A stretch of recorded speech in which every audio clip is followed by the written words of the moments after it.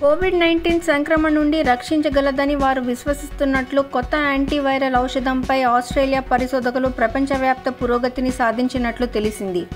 Monash విశ్వవిద్యాలయం పరిశోధకులు Covid నైన్టీన్కు కారణమయ్యే వైరస్కు వ్యతిరేకంగా గణనీయమైన నిరోధక సామర్థ్యాన్ని కలిగి ఉన్నారని చూపించడానికి ఔషధం యొక్క మోడలింగ్ నిర్వహించారు ఆస్ట్రేలియా నివేదించింది. విక్టోరియాలో కోవిడ్ నైన్టీన్ కేసులు పెరుగుదలతో పోరాటం వలన దక్షిణ ఆస్ట్రేలియా తన సరిహద్దులు విక్టోరియాకి మూసివేసింది. ఏసీటీ చీఫ్ హెల్త్ ఆఫీసర్ ఆ ప్రాంతంలో కోవిడ్ నైన్టీన్ కేసుల సంఖ్య పెరుగుదల కారణంగా అనేక విక్టోరియన్ స్థానిక ప్రభుత్వ ప్రాంతాలకు మరియు వెళ్ళడానికి మరియు రావడానికి గట్టిగా నిరుత్సాహపరుస్తున్నారు. పశ్చిమ ఆస్ట్రేలియాలో హోటల్ నిర్బంధంలో మూడు క్రియాశీల కోవిడ్ నైన్టీన్ కేసులు ఉన్నాయి. ఈ రోజు కొత్త కేసులు ఏవీ నిర్ధారించబడలేదు. శనివారం నుండి రాష్ట్రం ఫేజ్ ఫోర్ ఆంక్షల్లోకి ప్రవేశిస్తుంది. న్యూజిలాండ్ ప్రభుత్వం క్రూజ్ షిప్లపై నిషేధాన్ని పొడిగిస్తుంది మరియు దాని ఆరోగ్య క్రమాన్ని నవీకరిస్తుంది. ప్రయాణికులు బహుళ పరీక్షలు చేయించుకోవాల్సి ఉంటుందని స్పష్టం చేశారు. ప్రధానమంత్రి జసిందా ఆర్డన్ చెప్పారు.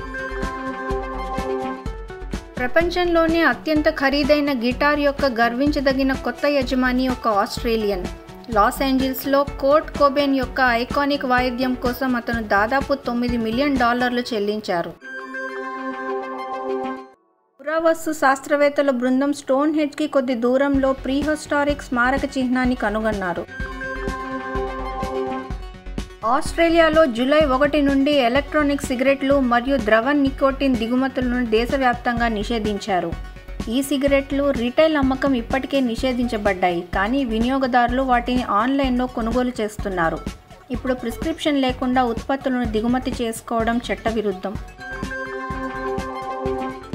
మాజీ హైకోర్టు జస్టిస్ డైసన్ హేడెన్ ఆరుగురు మహిళా న్యాయమూర్తుల సహచరులను లైంగిక వేధింపులకు గురిచేసినట్లు స్వతంత్ర విచారణలో తేలింది.